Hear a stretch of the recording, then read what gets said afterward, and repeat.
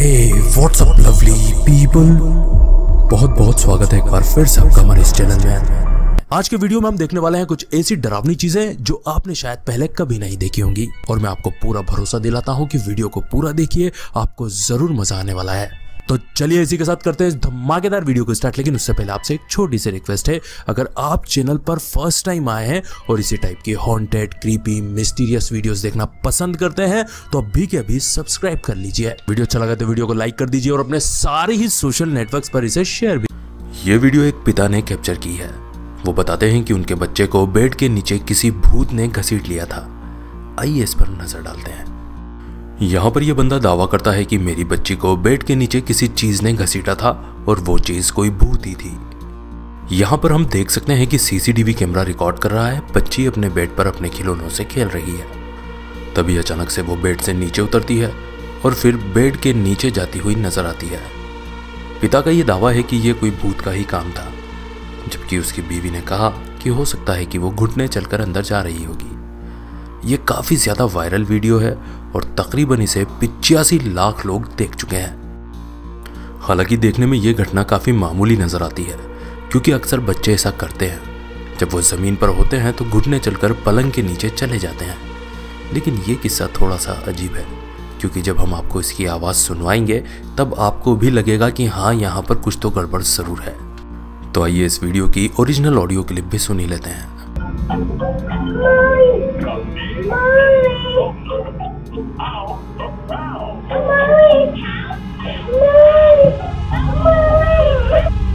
आपने सुना बच्चे किस तरीके से मम्मी कहकर पुकार रही है, और उसकी आवाज़ में काफ़ी डर भी नज़र आ रहा है।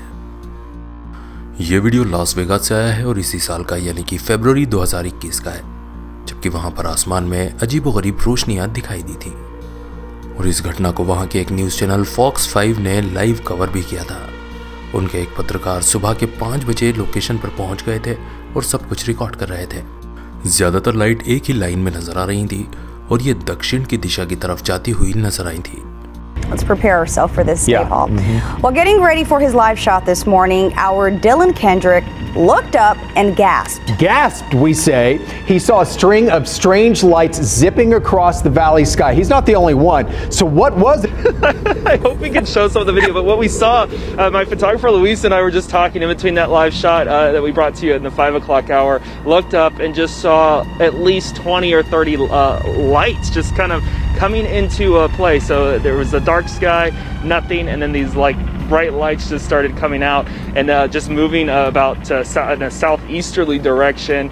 Uh, one of the strangest things I've seen. Like I said, uh, at this point they're unidentified. UFOs don't associate all the time with aliens, but uh, at this point, I, I just I've never seen anything like it. Folks are reaching out to me on Twitter for my video.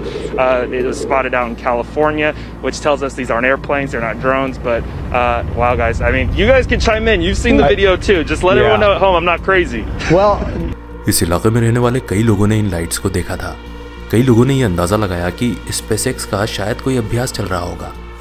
वहीं पर air force का base भी है तो कई लोगों ने कहा कि एयरफोर्स के जवान कोई प्रशिक्षण कर रहे होंगे। लेकिन बाद में ये दोनों ही बातें गलत साबित हुई, क्योंकि दोनों ही संस्थाओं ने इस टाइप के किसी भी परीक्षण या प्रशिक्षण से इनकार कर दिया। तो आज भी ये कुत्ती उलझी हुई है कि आखिर उस दिन जो लाइट्स नज़र आई थी, वो क्या चीज़ थी? आपको क्या लगता है, क्या ये कोई एलियन थे जो हमारी पृथ्वी का जायजा लेने आए थे? कमेंट करके ज़रूर बताएँ। आइए आगे बढ़ते हैं और देखते हैं नेक्स्ट वैसे तो ये फ़ोटो बड़ा सामान्य सा नज़र आता है, यहाँ पर एक प्यारी सी बच्ची खड़ी हुई है।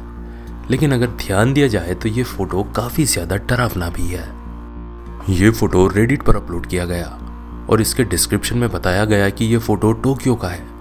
यहाँ पर माँ बाप ने अपनी इस छोटी बच्ची का फ़ोटो इसी जगह पर क्लिक किया था जहाँ पर से अभी उन्होंने ये फ़ोटो अपलोड किया है। वो बताते हैं कि पिक्चर में लड़की अकेली थी। लेकिन जब ये फ़ोटो बाहर आया, तब आप देख सकते हैं उल्टे हाथ की तरफ़ एक भयानक सा दिखने वाला क्रीचर खड़ा हुआ नज़र आता है।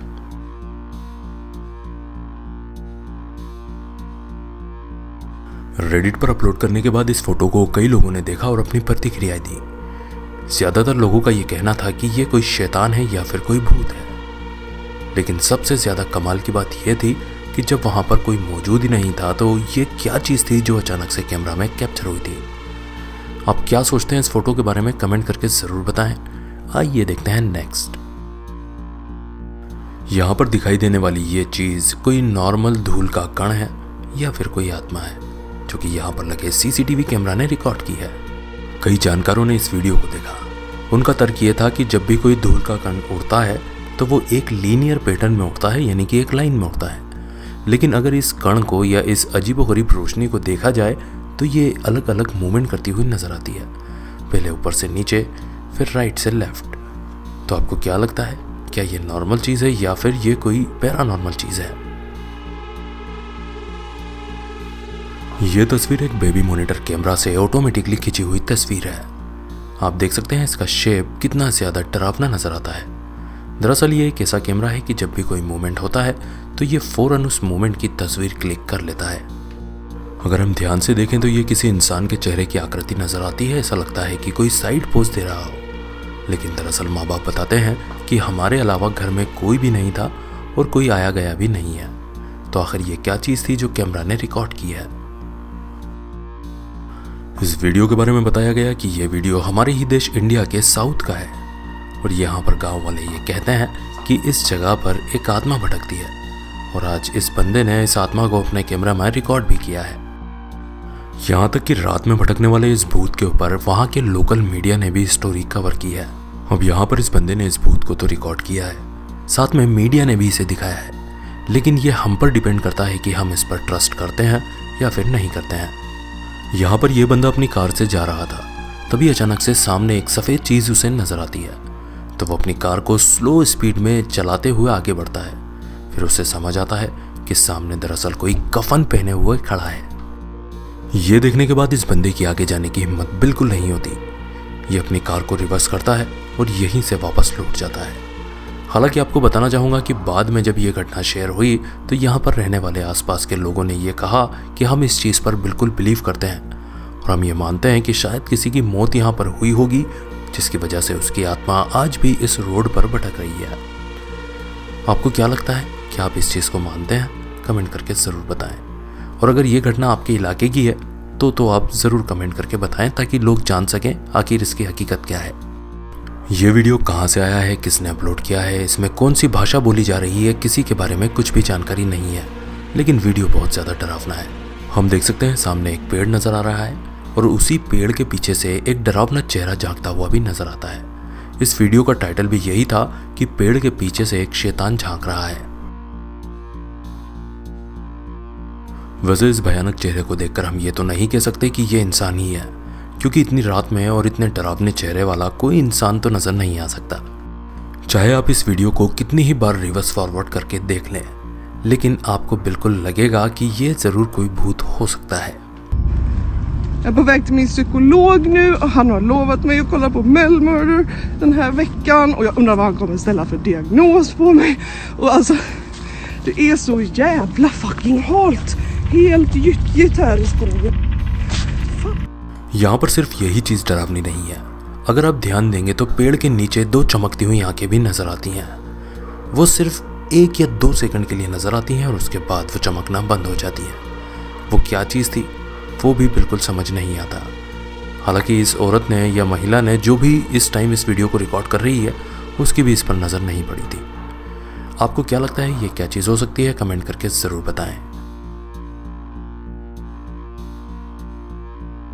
और इसी के साथ आज का हमारा वीडियो यहीं पर ख़त्म होता है, जहाँ पर हमने देखे कुछ डरावनी वीडियोस कुछ भूता फुटेजेस आशा करता हूँ कि ये पूरा वीडियो आपको ज़रूर पसंद आया होगा।